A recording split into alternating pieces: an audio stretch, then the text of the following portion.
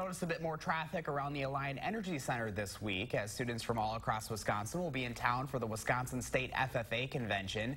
That kicks off later today. Now, this is a big coming together for them. They're celebrating the convention's 90th year. How about that?